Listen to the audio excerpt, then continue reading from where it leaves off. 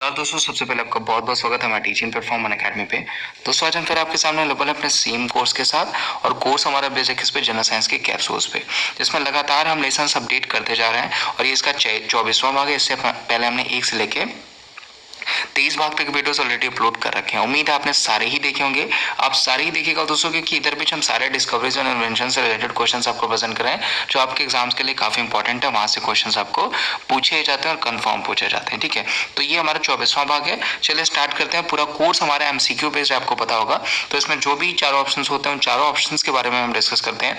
यानी अगर हम एक आपको इन्वेंशन या डिस्कवरी लेते हैं तो जो चारों ऑप्शन होते हैं, जो चारों होते हैं, उनके सारे के बारे में हम आपको बताते हैं, ताकि ज़्यादा से ज़्यादा क्वेश्चंस तक आपकी रीच पहुँच सके। तो बहुत अच्छा कोर्स है, बहुत ध्यान से देखेगा और ये आपके लिए काफ़ी इंपॉर्टेंट होने वाला है। तो चलिए स्टार्ट करते हैं हम अपना चौबीसवां भाग। स्टार्ट करने से पहले दोस्तों, मेरे बारे में पर्सनल डिटेल है, मेरा नाम अमरीश यादव है, पूरा कोर्स मेरे द्वारा क्रिएट किया गया है। क्या सबसे इंपॉर्टेंट चीज़ आपको यही है कि पूरे कोर्स में खुद को इनरोल कर लीजिएगा। इनरोल करने से यही होगा कि जब भी मैं जैसे ही इसका नेक्स्ट लेसन अपडेट करता हूँ पब्लिश करता हूँ तो उसकी नोटिफिकेशन क्या होगी? आप तक पहुँच जाएगी और आप इजीली देख सकते हो, चीज़ों को क्लियर कर सकते हैं। उसके अलावा दोस्तों रिव्यू सेशन में आप रिव्यूज़ लिख सकते हो, आपके जो भी क्वेरीज होंगी, जो भी सजेशन होंगे, आप बिल्कुल हमें प्रेजेंट कर सकते हो, उसको लिख सकते हो। उसके अलावा पूरे कोर्स को रेट करना बिल्कुल मत बोलेगा रेट करने से क्या होता है कि थोड़ा मोटिवेशन मिलता है और आपको अगर आइडियाज़ प्रेजेंटेशंस और जो आपको नॉलेज शेयर करने का तरीका अच्छा लगता है तो आप रेट करिए। ऐसा देख के अच्छा लगता है कि नहीं, सारे लोगों ने रेट किया मतलब कोर्स अच्छा लग रहा है तो हम इसमें लेसन ऐड करते रहते हैं, ठीक है? तो उम्मीद है आप रेट भी करेंगे और ये कुछ कोर्सेज मैंने आपके लिए प्रेजेंट कर रखे हैं, जिसमें जनरल साइंस है करंट अफेयर है करंट अपॉइंटमेंट्स है जनरल साइंस कैप्सूल्स है, ये भी सारे इंपॉर्टेंट आप इनको भी देखिएगा। ये भी आपके एग्ज़ाम्स के लिए काफ़ी अच्छे हैं और बहुत अच्छे से इनको भी कवर किया गया है, बनाया गया है, ठीक है? तो चलिए आज के हम क्वेश्चन देख लेते हैं। तो आज का दोस्तों हमारा पहला क्वेश्चन है हु डिस्कवर्ड हाइड्रोजन ये काफ़ी इंपॉर्टेंट क्वेश्चन हमने इसके बारे में डिस्कस भी किया है। हमने आपको बताया भी है तो ऑप्शन आपके पास चार हैं। हेनरी कैवेंडिस है जे जे थॉमसन है गोल्ड स्टीन है या फिर रदरफोर्ड है। तो जो सही ऑप्शन है हु डिस्कवर्ड हाइड्रोजन तो वो है आपके हेनरी कैवेंडिस ऑप्शन जो फ़र्स्ट है, वो आपका करेक्ट ऑप्शन है। और बाकी ऑप्शन के बारे में बात कर लें तो एक तरीके का आपका रिविजन हो जाएगा, एक तरीके का, अगर आपको याद है तो बहुत अच्छी बात है। जे जे थॉमसन ने किसकी खोज करी है? तो जे जे थॉमसन ने खोज करी है इलेक्ट्रॉन की, ध्यान रखिएगा। इलेक्ट्रॉन की खोज किसने करी है? तो वो करी है जे जे थॉम्सन ने। उसके अलावा प्रोटॉन की किसने करी है? तो वो करी है गोल्ड स्टेन गोल्ड स्टेन भी काफ़ी इंपॉर्टेंट टर्म में कभी कभी कंफ्यूजन हो जाती है इन तीनों नामों में इलेक्ट्रॉन प्रोटॉन और न्यूट्रॉन में। तो इलेक्ट्रॉन आपको याद रखना है J J Thomson Goldstein आपको याद रखना है प्रोटॉन के लिए और आपको गोल्ड स्टीन के अलावा जो आपके न्यूट्रॉन के लिए आपको याद रखना है किसको तो जेम्स चैडविक को। तीनों क्लियर हो गए। रदरफोर्ड की बात कर ले दोस्तों तो रदरफोर्ड ने खोज करी है न्यूक्लियस की, यानी नाभिक की। तो चारों ऑप्शन आपके क्लियर हो गए। प्लस एक हमने एक्स्ट्रा बता दिया आपको जेम्स चैडविक क्योंकि जेम्स जे थॉमसन आपके इलेक्ट्रॉन गोल्ड स्टीन आपके प्रोटॉन तो आपको न्यूट्रॉन भी पता होना चाहिए जेम्स चैडविक और रदरफोर्ड हो गए आपके नाभिक की। और इस क्वेश्चन का जो सही ऑप्शन था, वो क्या था? हु डिस्कवर्ड हाइड्रोजन तो वो है आपके हेनरी कैवेंडिस नेक्स्ट पे चलते हैं।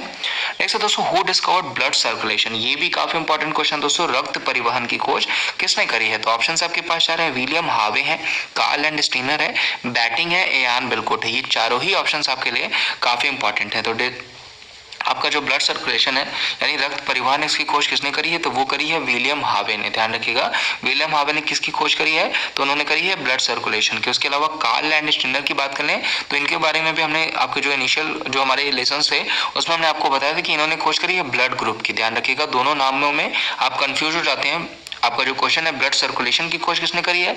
तो वो करी है विलियम हावे ने। वही कार्ल एंडरसन ने किसकी खोज करी है? तो ब्लड ग्रुप ने। ब्लड ग्रुप की, जो कि आपको पता है, जिसका ब्लड ग्रुप सारे लोगों का होता है ए ए बी ओ हाँ ठीक है ये सारी खोज किसने करी है? तो ये करी है कार्ल एस्टनर ने ब्लड ग्रुप की। उसके अलावा बैटिंग हमने आपको बताया कि बैटिंग ने किसकी खोज करी है? तो इन्होंने खोज करी आपके डायबिटीज़ यानी मधुमेह की। वहीं बैटिंग के साथ अगर बेस्ट भी ऐड हो जाता तो किसकी खोज करती? बैटिंग और बेस्ट ने किसकी खोज करती फिर? तो उन्होंने करी हो आ, करी थी इंसुलिन की ठीक है? तो बैटिंग और बेस्ट ने अगर मिल जाता तो इंसुलिन की खोज करी। बस बैटिंग का आता है तो उन्होंने खोज करी है आपकी डायबिटीज़ जिसको आप हिंदी में मधुमेह करते हैं। और अगर आपको क्वेश्चन पूछते हैं कि इंसुलिन की खोज किसने करी? और बेस्ट ना देखिए बैटिंग देता है तो भी आपका सही ही होगा। उसके अलावा ईयान बिलकुट की बात कर लें, ये भी काफ़ी इंपॉर्टेंट नाम है। इन्होंने जो क्लोनिंग टेक्निक थी, उसकी खोज करी। ध्यान रखिएगा क्लोनिंग टेक्निक की खोज किसने करी है? तो वो करी है इयान बिल्कुट ने यानी चारों ही ऑप्शन आपके लिए काफ़ी इंपॉर्टेंट है आपके एग्ज़ाम्स के लिए। तो हु डिस्कवर्ड ब्लड सर्कुलेशन तो वो है आपके William Harvey Karl and blood group batting हो गए आपके डायबिटीज़ और इयान बिल्कुट क्या हो गए? तो ये हो गए आपके जो क्लोनिंग टेक्निक है, उसकी खोज करता। और इस क्वेश्चन का जो सही आंसर है, वो है आपका विलियम हावे ठीक है नेक्स्ट पे चलते हैं। नेक्स्ट दोस्तों हु डिस्कवर्ड इलेक्ट्रॉन अभी हमने देखा था, अभी जब हम हाइड्रोजन पढ़ रहे थे तो हमने देखा था कि इलेक्ट्रॉन को किसने ढूंढा, ठीक है? तो ऑप्शन आपके पास चार है Henry Cavendish and JJ Thomson है गोल्ड स्टीन है रदरफोर्ड है। और अब तो आपको याद हो जाना चाहिए रिपीट होना चाहिए, पूरी तरीके से रिवाइज होना चाहिए। तो हेनरी कैवेंडिस ने खोज करी, किसकी करी? तो इन्होंने करी हाइड्रोजन की। एक क्वेश्चन आपको और बनता है कि ऑक्सीजन की खोज किसने करी? हाइड्रोजन याद आया? तो उससे ऑक्सीजन भी याद आया कि ऑक्सीजन की खोज किसने करी? तो वो करी थी जोसफ प्रेस्टले ने, ध्यान रखिएगा। ऑक्सीजन की खोज किसने करी थी? तो वो करी थी जोसफ पिस्ले ने, और उसके अलावा ऑक्सीजन नाम किसने दिया था? तो वो दिया था लवेशिया ने। ये दोनों भी इंपॉर्टेंट क्वेश्चन है। ऑक्सीजन, जोसफ पिस्ले ने खोज करी, लवेशिया ने उसका नाम दिया। और हाइड्रोजन की खोज किसने करी? तो करी हेनरी कवेंडिस ने। उसके अलावा जेजे थॉम्सन ने किसकी खोज करी? तो इन्होंने खोज करी इलेक्ट्रॉन की। ध्यान रखिएगा। इलेक्ट्रॉन की खोज किसने करी है? तो वो है जेजे थॉमसन यानी इस क्वेश्चन का सही आंसर उसके अलावा प्रोटॉन अगर आपको पूछा जाता है तो वो कौन थे? तो वो थे गोल्ड स्टीन। प्रोटॉन ने किसकी खोज करी थी? तो खोज करी थी आपकी गोल्ड स्टीन प्रोटॉन की खोज किसने करी थी? तो वो करी थी आपकी गोल्ड स्टीन ने। उसके अलावा न्यूट्रॉन की किसने करी थी? तो हमने आपको कंफर्म करा दिया है कि वो करी थी जेम्स चैडविक ने। अब बचते हैं आपके रदरफोर्ड तो रदरफोर्ड ने किसकी खोज करी? तो उन्होंने करी न्यूक्लियस की, यानी नाभिक की खोज। तो चारों ऑप्शन आपके क्लियर हो गए। और इस क्वेश्चन का जो सही आंसर है, वो है आपका क्या? जे जे थॉमसन ठीक है नेक्स्ट पे चलते हैं। नेक्स्ट दोस्तों हु डिस्कवर्ड इंसुलिन अभी हमने आपको इसके बारे में डिस्कस किया था। तो इंसुलिन की खोज किसने करी? बैटिंग और बेस ने करी। जेम्स वॉटसन एंड आर्थर अर्ग ने करी, जेम्स वॉटसन क्रिक ने करी या फिर पॉल मूलर ने करी, ठीक है? ये चारों ही ऑप्शन आपके एग्ज़ाम्स के लिए काफ़ी इंपॉर्टेंट है। तो जो सही ऑप्शन दोस्तों, वो है बैटिंग ऑन बेस्ड हमने अभी आपको बताया कि इंसुलिन की खोज किसने करी तो बैटिंग ऑन बेस्ड ने करी। और इंसुलिन की कमी से आपको क्या होता है? तो वो होता है आपका डायबिटीज़ और इंसुलिन क्या है? तो एक हार्मोन है। ये तीनों चीज़ आपको इंपॉर्टेंट है, पूछी जा सकती है। और डायबिटीज़ की खोज किसने करी तो वो करी है बस बैटिंग जिसको आप मधुमेह नाम से जानते हैं ठीक है?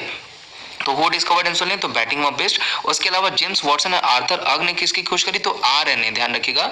जो राइबो न्यूक्लिक एसिड होता है, उसकी खोज करी है जेम्स वॉटसन एवं आर्थर अर्ग ने। उसके अलावा जेम्स वॉटसन ने किर्क ने किसकी खोज करी है? तो उन्होंने खोज करी है डीएनए की। डीएनए की खोज किसने करी है? तो जेम्स वॉटसन और किर्क ने खोज करी है? आपकी डीएनए की खोज करी है। उसके अलावा पॉल मूलर ये भी काफ़ी इंपॉर्टेंट नाम है।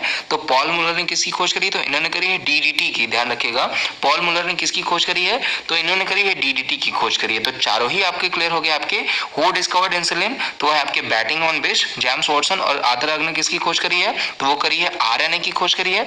जेम्स वॉटसन और किक ने किसकी खोज करी है? तो इन्होंने डीएनए की खोज करी है और पॉल मुलर ने किसकी खोज करी है? तो इन्होंने करी आपकी डीटीटी की ठीक है नेक्स्ट पे चलते हैं।